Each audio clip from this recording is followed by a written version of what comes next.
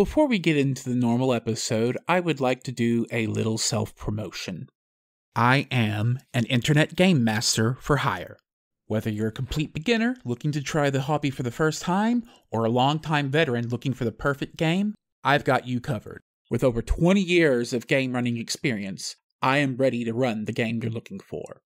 Kick down the doors of a high fantasy dungeon, navigate political intrigue and skullduggery in the halls of power, run a resistance movement against the sci fi empire, and anything in between. If you're interested, please contact provenparadox at gmail.com. My rates are $30 an hour for the entire group, which means the costs are split between every player. I have a custom rule set that I can run these games from, or I can learn another system that you want to try. I have already spoken to Nick, and he is ready to be a player in this thing as well. So, if anyone out there is at all interested, please send me an email. Now, on with the show as normal. Hello, my name is Nick Bright, scholar of East Asian religions. And I'm Proven Paradox, a guy with a lot of questions. And you're listening to Bright on Buddhism, a podcast where we discuss East Asian Buddhism, answering listener submitted questions from listeners just like you, and introducing concepts of Buddhism that you may or may not be familiar with in a casual, conversational setting. Enjoy. Hermit, have you ever experienced concentration that was truly singular and one pointed in nature? Perhaps, though I think the Buddha might disapprove of the source. Before I accepted the robe and bowl, I spent much of my time writing fiction. As part of this, I would create worlds with words. That process, building and simulating a world and its denizens clearly enough to pluck the image from my mind and put it on the page. When I was fully immersed in it, perhaps that was the sort of singular concentration you're describing? Why do you ask? The Buddha challenges us to attain such concentration in our own practice of meditation. What is this concentration supposed to be directed toward? Toward the Dharma, toward emptiness, toward impermanence, and toward suffering, toward the nature of all reality exactly as it is. And why ought we direct our concentration thus? Many say that they understand the true nature of reality, the true Dharma, and the true meaning of impermanence and suffering. Does the Buddha say something those people do not? He says that we ought to direct our concentration thus, not for concentration's sake, nor for the sake of earthly or heavenly benefit, but for the sake of the end of the suffering for all sentient beings.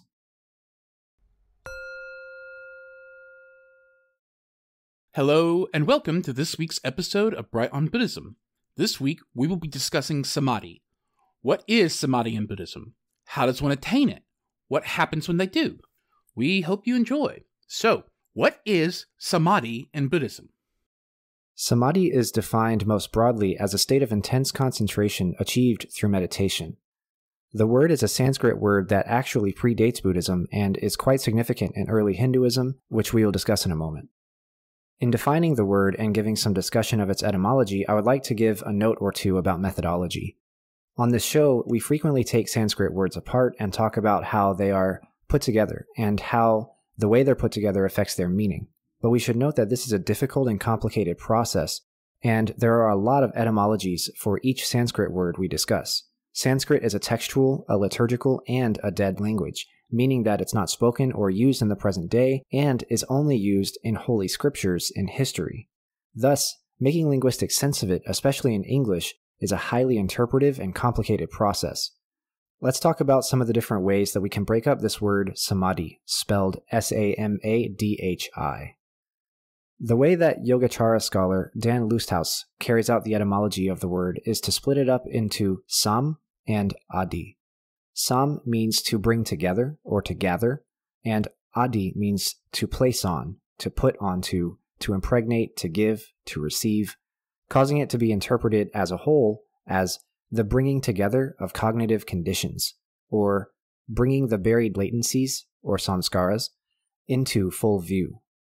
So the obscure and hidden become clear objects of cognition, and it's the womb through which insight is born. So this is very complicated, and he takes a lot of interpretive leaps, we might say, whenever he gives this etymology. But we can see that one of the common threads is that it's gathering together something and applying that gathered together something onto something else. And in the context of Buddhism, we're interpreting this as gathering together all of your thoughts and mental conditions and applying them to a subject on which you are concentrating or being mindful. And doing so, according to Dan Lusthaus, is the womb through which insight is born.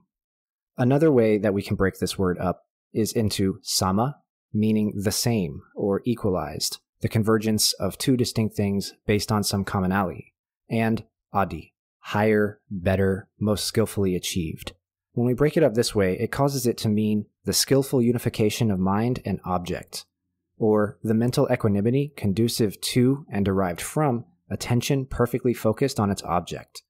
So that is kind of breaking down the subject object discrimination that we have, which I should mention is a modern discrimination, but is useful in interpreting the meaning of this word as being whenever your mind is singularly focused and one with the object of its focus, which in the case of samadhi ought to be the dharma or emptiness or impermanence or something like that.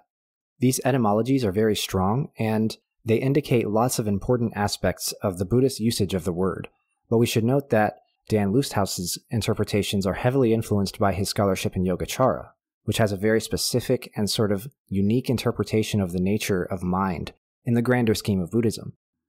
In Theravada Buddhism, there is no such idea of the absolute unity between mind and object, wherein the meditator and the object of meditation are interpenetrating with each other.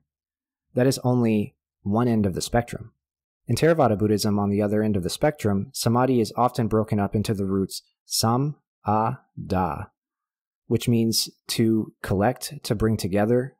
The idea is that it is the extreme and heightened state of concentration whenever you gather all of your mind into a singular stream of consciousness. One could argue that this is not significantly different from Dan Lusthaus's etymology by saying that a result of intense concentration is the complete unity of mind and object, but I think there's a subtle underlying difference here that's worth discussing. The difference is in the type of meditation being discussed. In our discussion of the Mahasatipatthana Sutta, or the Sutta on the Establishment of Mindfulness, I mentioned that there are two types of meditation in the early texts that are worth mentioning and discussing and defining. One is vipassana meditation, which is meditation by means of concentration on a mental object for the purpose of inquiry into its nature as being impermanent, empty, and marked by dukkha. The other type is samatha meditation, which is meditation by means of practicing calmness and tranquility of the mind and body. Before we go on, we should note that these are not separate methods or separate practices at all. They're two sides of the same coin. Inquiry into the nature of reality requires calmness and tranquility, and calmness and tranquility are byproducts of inquiry into the nature of reality. In Theravada Buddhism and in the Pali Canon, samadhi is regarded as an attainment that one gets when they practice and perfect these two qualities of mind, samatha and vipassana indicating that it is not just the unity of mind and object, as in Dan Lusthaus's definition. Instead, samadhi is the concentration and the calmness that results from meditative practice as a whole. Uh, so, when we're talking about breaking down samadhi as a word in the language, since Sanskrit is a liturgical language, that means that there's not any writing about normal life written in Sanskrit, really, is my understanding. So, because it's liturgical, that means it's just in the holy texts. That's right. At least during the time period that we're talking about, the lifetime of the Buddha, it was strictly for holy texts, strictly a holy language, kind of like Latin for Catholicism. Right. That would make translation and localization way more difficult because there are no examples of these words being used in different contexts to be able to translate them. That's exactly right. You only have the texts themselves, which all kind of follow a similar pattern of usage of the language, being that they're using them for liturgical purposes. And whenever it's so singular as that, it makes it that much harder to understand what's really going on. So, because samadhi is clearly such an important idea in Buddhist practice, the story for samadhi doesn't end at the definition that we just come up with. There's a connection between samadhi and the jhanas, that I should explain here. Samadhi is one of the components of the Eightfold Path, right concentration, or in Sanskrit, Sama Samadhi. We can define this as the correct or right method or practice of meditation. This means meditating on emptiness and compassion and not on hate and ego, for example, or meditating by means of calm concentration and not by means of frantic anxiety, for example. Because this is the kind of practice one ought to do, as proposed by the Mahasatipatthana Sutta, right concentration is often defined as jhana meditation. We've talked a great deal about the jhanas, and we'll talk even more about them in the future because they're so important to the Buddhist tradition. We can briefly describe the four jhanas as being 1. Joy born from seclusion and freedom from unwholesome states, 2. Joy born of concentration, or from doing the practice that leads to samadhi, 3. Equanimity with regard to pleasant and unpleasant stimuli, and 4. A state free from both pleasant and unpleasant mental states. Here you can see that samadhi is the gap between the first and second jhanas. The first jhana is the product of overcoming the five hindrances, which we've discussed before. It is literally the momentary sensation of joy, contentment, and freedom which results from being alone and not feeling anything bad. To get to the second jhana, however, is a much taller order. You have to get on the way to samadhi. We'll talk in just a second about how to do that. Then, once you do have samadhi or you're well on the way to it, you attain equanimity in the third jhana, and then you can abandon even the sensation of equanimity in the fourth jhana. I would be remiss if I didn't mention here the importance of the term samadhi to religions outside of Buddhism, Hinduism, and Sikhism. I won't be able to be as detailed and nuanced as in my discussion of its importance to Buddhism, but I can give the broad strokes here. In Hinduism, samadhi is a divine meditative attainment that one can enter into at the moment of death, as such, it is the step that is necessary in order to completely realize and attain the unity of one's Atman, or their soul, and Brahman, or the whole universe. You'll remember that this is one of the important goals of Hinduism, realizing and attaining oneness between your little piece of Brahman and all of Brahman. This is attained through sustained concentration and practice. In Sikhism, which is a theistic religion from the Indian subcontinent, samadhi is a pure and uninterrupted unity between the mind of the practitioner and God. Both of these schools of thought have meditative or mind practice traditions which are directed toward attaining samadhi through meditative and ascetic practice. How does one attain samadhi in Buddhism? This is something that's heavily debated all across the history and the texts and the doctrines of Buddhism. There are many ways to attain it, and there are many developments over the course of Buddhism's history that reimagine this state and reframe practice according to it. However, in the broadest senses, we can say that samadhi is a state that is separate and distinct from the default daily life experience of a regular person. In our daily lives, we have distractions, anxieties, joys, things that make us mad, sad, all of these different sensations that pull us away from our concentration and from our presence in the moment. We experience a range of body states that sometimes include calm, but not always. And we make use of parts of our mind which, according to Buddhism, perpetuate our poor state of existence. We use discriminatory, calculative, and discursive thinking to solve problems and interact with the world and people in it. And so samadhi then is freedom from this stream of distractions from states that are marked by pleasure or unpleasantness, such as anger, sadness, and joy. And it's also freedom from counterproductive uses of the mind, such as discriminatory, calculative, and discursive ways of thinking. You might be thinking to yourself that all of this is a description of what samadhi isn't. It isn't unwholesome mind states. It isn't unwholesome uses of the mind. It isn't this or that. So what actually is it?